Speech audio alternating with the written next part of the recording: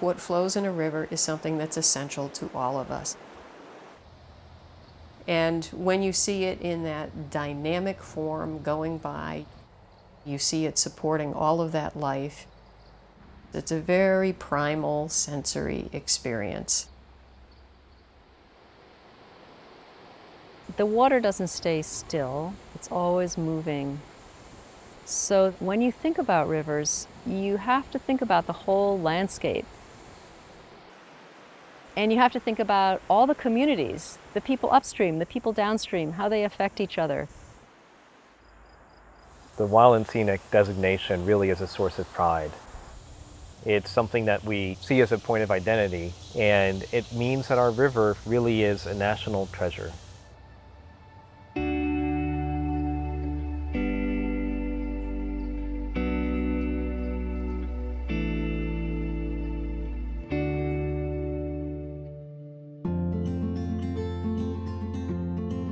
The original wild and scenic rivers in the western part of the country were rivers that were not much developed and largely on federal land. But the rivers in the east have recovered a great deal so that now these rivers have become valuable scenic and recreational assets again. The Wild and Scenic Rivers Act was a big umbrella but it took a long time for the Park Service to figure out how to use it to protect rivers where you're not going to create a federal park, where it would be inappropriate to buy or manage the private lands. How do you deal with those rivers? And that was really the problem that um, Partnership Rivers set out to solve.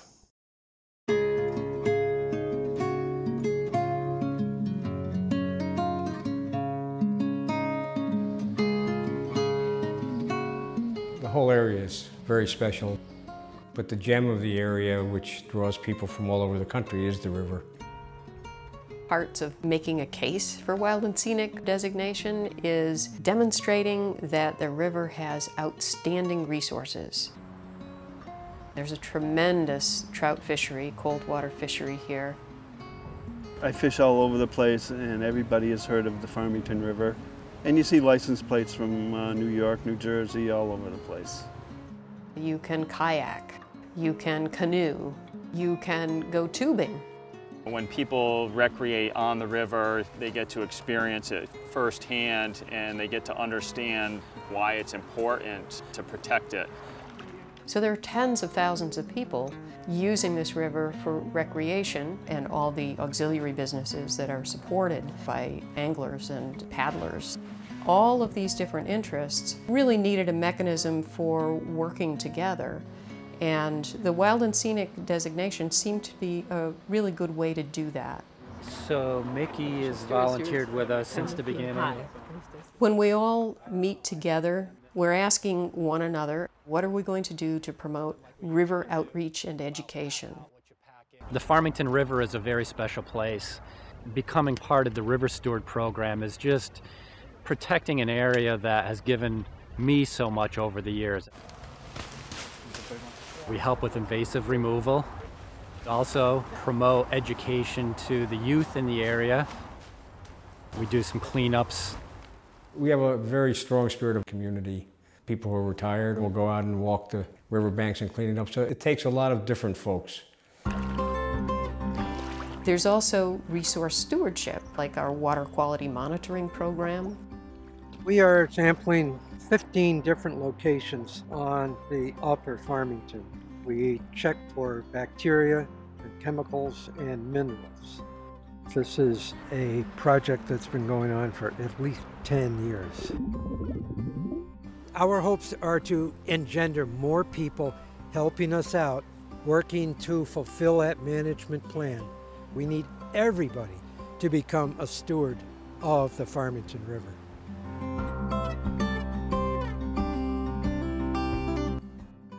One really great example of how people bring different sensibilities to their appreciation of a river is the Farmington River Quilt Project. Favorite scenes and favorite spots along the wild and scenic stretch of the river portrayed as quilts.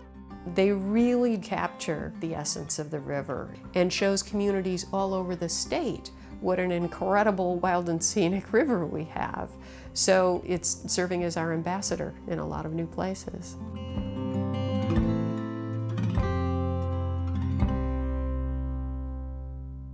Our rivers flow through a patchwork of different kinds of ownership. There's U.S. Fish and Wildlife Refuges, the National Park, but there's also a lot of private property, state conservation land, roads, all kinds of things that make it actually pretty complicated to manage a river.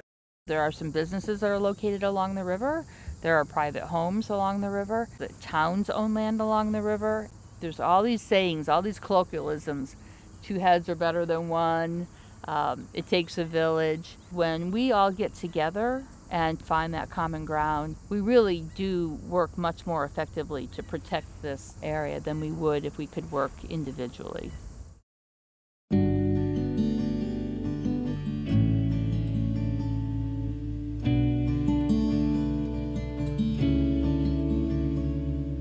I love rivers, and they all have their own personality. The Assabet is a very intimate experience. I think it's a beautiful river, and it's a hidden treasure for Massachusetts. You never go on this river without seeing great blue heron, turtles, frogs, snakes. It's an osprey. You forget that you're less than an hour away from Boston. This wild and scenic river is the closest wild and scenic river to a metropolitan area. On a weekend, you'll see a lot of people using our rivers. That is new. It didn't used to be that way in recent history because the rivers were very badly polluted. The Assabet River had five major wastewater treatment plants discharging treated sewage, and our work has been to help clean that up. Just a little bit upstream was where it got really kind of gross. But because downstream we had wild and scenic, that gave us some good leverage for protection from those polluters upstream. So it's a really wonderful tool for people in the community who want to clean up their rivers.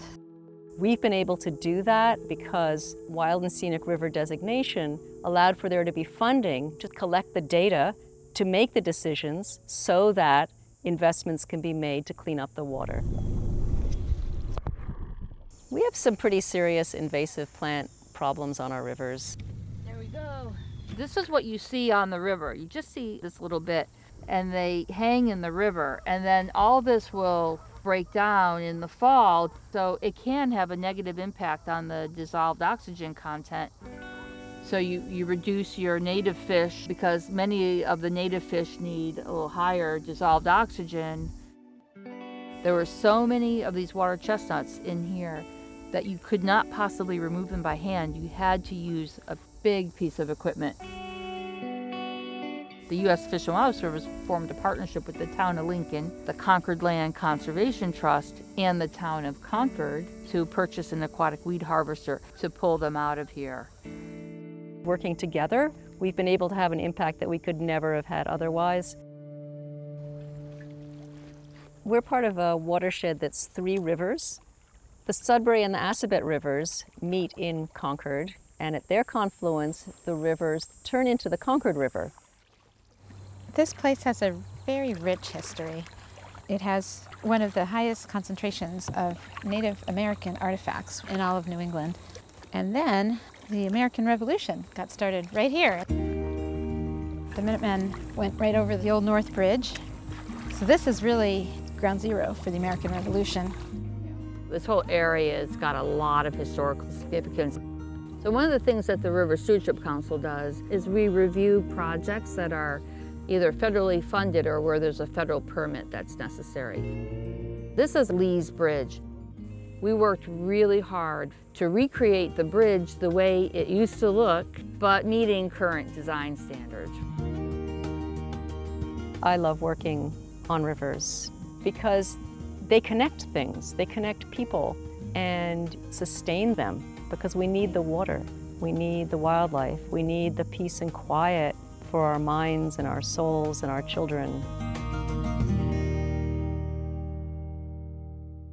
Communities that have been living in harmony with these rivers for hundreds of years They've got some strong feelings about what's important. So if you bring that in and integrate it into the planning from the get-go, you're much more grounded in a reality that's going to get you a good product. Wild and Scenic sometimes suggests to people that the river is going to be considered wild and pristine, and therefore you won't be allowed to do anything on it or around it. That's really not the case. It's recognized that these rivers are within towns, they have historic uses, and that is respected. It's brought some money, it's brought some attention, and it's brought the communities together around the rivers in a nice way. It certainly wasn't a land grab by the federal government.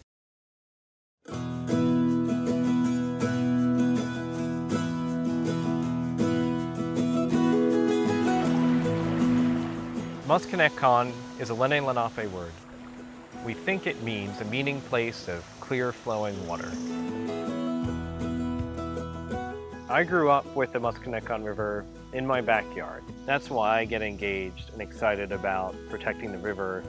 It's a great way to talk about the history that you just absorb growing up in a place. Back when there wasn't electricity, people needed a way to get power. And the best way of getting power was from the river. And people built grist mills to grind their grain. None of these dams were used to prevent floods. Some of them are hazardous and they could breach. We work in partnership with dam owners who have a high hazard dam and if they would like the dam moved, we're a way to bring in outside funding to help remove that dam. We've been restoring migratory fish passage. So fish like shad, alewives, other river herring, and eels can come back. So the shad came back a year after we took down that dam. The shad are an iconic fish in the Delaware River watershed. So when the shad came back, it drew a lot of attention. Great success for the river, and it's a great way to restore the environment and really meet what the Wild and Scenic River Act is about. To see a fish that hasn't been here for hundreds of years, that was probably one of the best feelings I've had in my career. Are you catching anything? My dad caught some Trout? Yeah. This is a rainbow trout. They, they moved the dam, so it's very nice now, right now. The river is moving in a direction that it needs to move in terms of recovery. You know, this is the culmination of ecology and engineering um, coming together on a project. And I like to stand there and listening to it. It's relaxing. That water just, it's just relaxing to hear it go through there like that. It looks just like a Rocky Mountain stream. It flows the way it's supposed to. I don't think anybody in a hundred years has seen it flow like this. It's gorgeous, and we love it. We have five staff, two are full-time, three are part-time. Even though we're small, a local article called us the mighty MWA because of what we've been able to accomplish. And it's through having that base level of support, that capacity that comes from the Wild and Scenic Act. Congress makes it eligible for designation, but for it to actually go into force, the local communities need to agree to it. It's a way of exercising the pride that people feel about where they live, and it builds an identity to not just the river, but the region overall.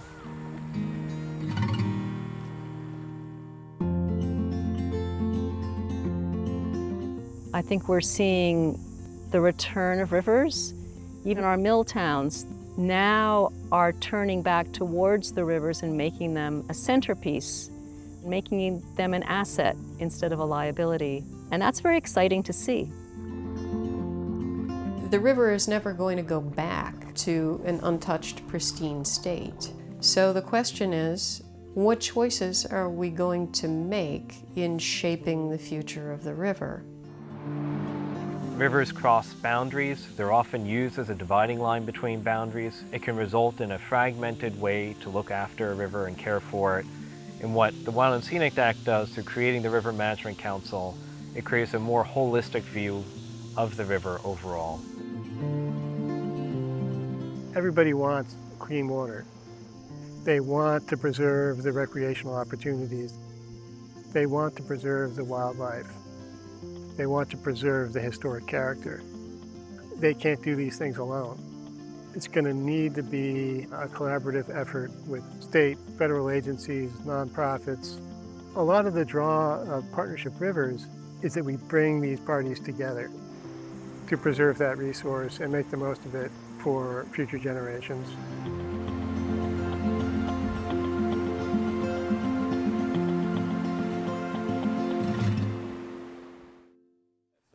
Every time we used to go out in the boat, this guy here was the only one that would catch trout. All we catch was weeds. we got the, the hawks, the Right. what's that long necked bird? Oh, heron. Heron. We had a couple of them in here. Yeah. Dick Big, don't like too. them because he's got a pond. They go after his fish. They eat your fish, yeah. They want my fish. I can sit on my deck in my yard when the water's a little bit higher, and I, I love to hear that ripple effect. When I check on him as he's listening to the ripples, he's usually asleep. No, come on, I'm not sleeping. Like, How can you li- sleep listen to the ri- ripples of the water? Put you to sleep.